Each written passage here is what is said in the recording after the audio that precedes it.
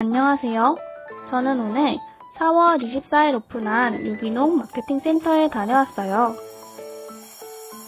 유기농 마케팅 센터는 친환경 농업 기반을 확산하고자 설립된 곳이며 친환경 농업을 테마로 하는 시민들의 문화 공간이자 친환경 농업인들의 교류 공간이라고 해요.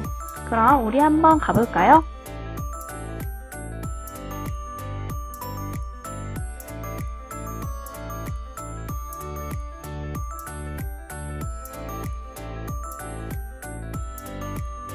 넓은 유기농 마케팅 센터에서 안내판을 이용하면 쉽게 길을 찾을 수 있어요.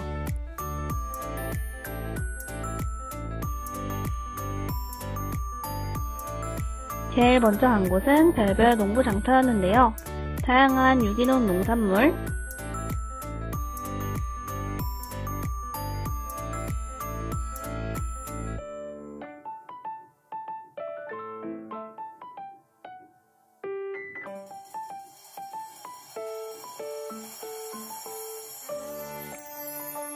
유기농 꿀로 만든 향초,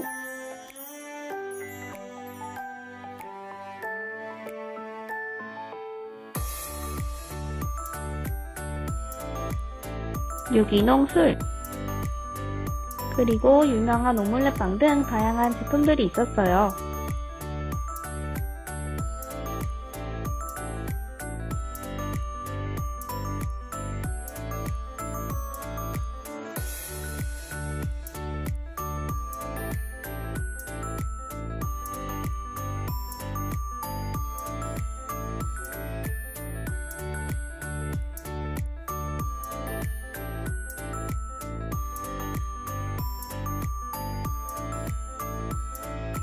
다음은 한살림을 방문했습니다. 한살림에서는 유기농 재료로 만든 가공식품, 제품들도 있어 편하게 쇼핑할 수 있었어요.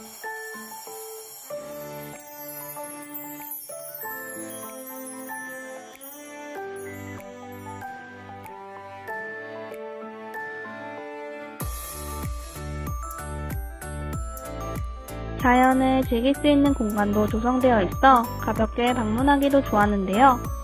3층에 있는 옥상 정원이 굉장히 아름다웠습니다. 외부에는 체험학습장, 식물원 등 볼거리도 많았습니다.